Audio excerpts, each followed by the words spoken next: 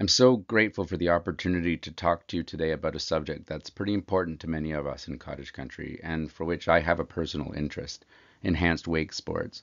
I live on a small lake in Haliburton County, and enhanced wake sports have, over the last five years or so, really started to take a toll on our lake and on our ability to enjoy it. When we talk about the impacts of enhanced wake sports on the lake, you'll often hear talk about lake health, lake ecology, and the importance of both but I felt like we needed a new perspective. So today I'm going to frame enhanced wake activities in the context of the natural history of our lakes and how they age through time to help emphasize the truly dramatic effect these boats can have.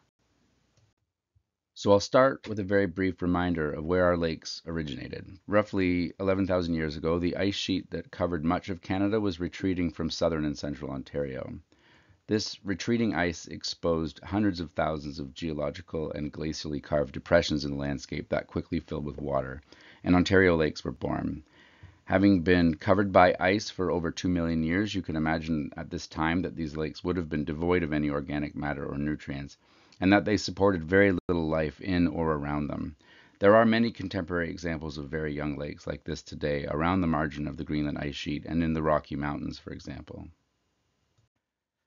From here, these glacier lakes began a natural succession that would take many thousands of years. Young, nutrient poor lakes like these are called oligotrophic lakes, and they're characterized by deep, clear water, scant vegetation and algae, and high oxygen levels. Over many thousands of years, natural processes like erosion and decomposition cause sediments and nutrients to accumulate in the lakes, this encourages plant and animal growth, which in turn leads to more nutrient accumulation and so on. It's a positive feedback cycle. Over time, the clarity of the water starts to decrease and lakes become able to support a diverse ecosystem of aquatic plants and fish. Lakes at this state of succession are classified as mesotrophic. Many lakes in cottage country are mesotrophic, including Lake of Bays and my lake in Haliburton, for example. This process of accumulating nutrients and increasing productivity is called eutrophication, and we can liken eutrophication to the process of lake aging. Keep in mind, though, that this occurs gradually over thousands of years, and in fact, 11,000 years after the formation of our lakes, we still have many nutrient poor oligotrophic lakes in cottage country like Lake Joseph and Skeleton Lake. Eventually, though, with enough time, aging lakes become eutrophic with high nutrient levels and high productivity, characterized by excessive plant and algae growth, reduced water clarity, and low oxygen. It's important to point out here that while we often think of eutrophic lake as an unhealthy lake, this isn't necessarily the case. Eutrophication can be the natural state of a lake that's approaching the end of its life. They are important ecosystems in their own right, but typically these lakes aren't great for human recreation, and thus we don't tend to build our cottages on them. If your lake suddenly became eutrophic, you would rightfully think that your lake's health was very poor indeed. So humans, unsurprisingly, can contribute significantly to this eutrophication process with our septic systems, fertilized lawns and gardens, our removal of vegetation, hardening of shorelines, and activities that cause shoreline erosion. Through these activities, we are able to dramatically increase the input of nutrients into a lake, accelerating this natural lake aging process. When this is driven by our activities rather than natural processes, we call this cultural eutrophication. And it turns out that we can achieve the equivalent of thousands of years of natural eutrophication over very short periods of time. So when we talk about lake health and cottage country, what we're really talking about is minimizing or preventing this cultural eutrophication. Now, this, of course, isn't new. We know the potential effects of human activity on lakes, and so we mitigate for these impacts by regulating and inspecting septic systems. We protect watersheds with governing authorities, and we have shoreline protection bylaws to maintain the integrity of the ribbon of life around our lakes that help buffer the effects of human activity on shore. And we've proven that we can do a reasonably good job of this, minimizing the impact of our activities and controlling cultural eutrophication. So enter enhanced wakes and enhanced wake boats. These boats are specifically designed or modified with ballast and mechanical devices to create significantly more powerful waves than traditional recreational boats. So let's put this into context. Even in the Great Lakes, waves powerful enough to surf are only generated during the biggest winter storms, and yet we're now regularly bringing these ocean waves to our cottage country lakes. In my opinion, these boats and their wake are the most significant human impact on our lake since their formation 11,000 years ago, and they have the potential to very quickly undo all that we have achieved in minimizing cultural eutrophication of our lakes. So specifically, how are these boats so impactful? To date, a significant volume of research has been undertaken about the impact of these boats, and the science is pretty clear in this regard. Now there's a lot going on in this figure, but I want you to focus primarily on two elements that greatly impact the eutrophication of our lakes.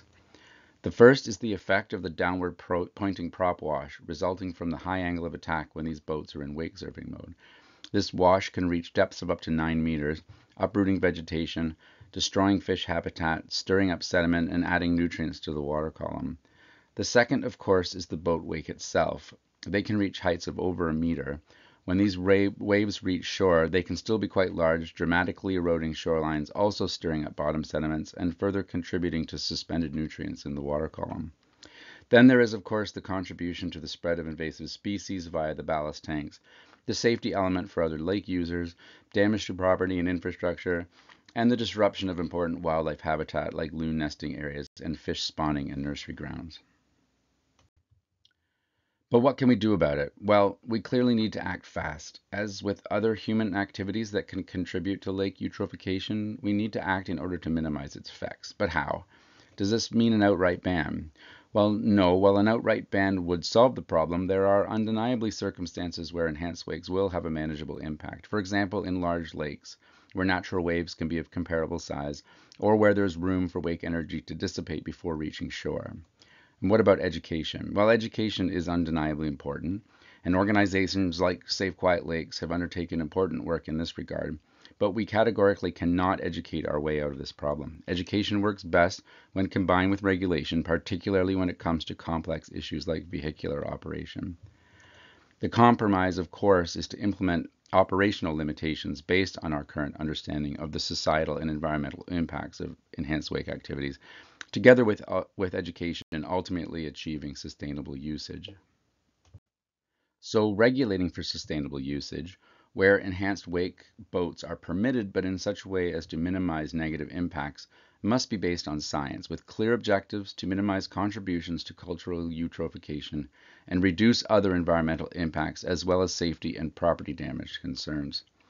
While ample research has been undertaken on the impacts of enhanced wake, more research is needed to parameterize sustainable usage in the many different settings where these boats are operated. However, one thing is very clear. Proximity to the lake bottom and to the shore is of overwhelming importance. Thus, we already have two key parameters we must use for regulating sustainable usage. Minimum operation depth and minimum distance from shore. In the case of minimum depths, the effects of prop wash on lake bottoms is pretty clear, and the science is broadly in agreement. Without a doubt, enhanced wake activities are incompatible with and unsustainable in shallow waters. Minimum depths of 6 meters are required for safe operation, but in cottage country's fragile ecosystems, especially in the vicinity of spawning beds, fish nursery areas, and other wildlife habitat, a minimum operational depth of 9 meters is justified. In the case of minimum distance from shore, current recommendations in the literature vary pretty widely. For example, I've seen some boating industry funded research that recommends a minimum operating distance of 200 feet from shore, which is about 60 meters. Compare this to minimum distance recommendations in the scientific literature that range from 200 250 meters and up. However, these minimum operating distances come with a caveat here since safe distance will be highly dependent on local conditions, in particular shoreline and bottom characteristics. To me, cottage country lakes are characterized by thin soil, fragile shoreline vegetation, sensitive ecosystems, and are highly vulnerable to cultural eutrophication, so we need to be considering minimum distances closer to 500 meters. It occurred to me while researching this issue that I didn't really have a good sense of what different operational distances would look like for different lakes, so I undertook a buffer analysis for all the lakes in Ontario and Quebec to illustrate what this would look like, and I thought it might be helpful to show some of these results to you now. So here we have a map of Lake Joseph, Lake Rosseau, and the other lakes in the area. And on this map, we can overlay the areas of the lakes that are at least the indicated buffer distance from shore. So here we have 250 meters, 400 meters, 500 meters, and all of them together. And now Lake Muskoka, 250 meters, 400 meters, 500 meters, and all of them together. The areas highlighted by these rainbow colors are those areas of the lake that are most compatible with enhanced wake activities. So going forward, there are many issues yet to consider. For example, does the time of year matter when talking about the impact of enhanced wakes?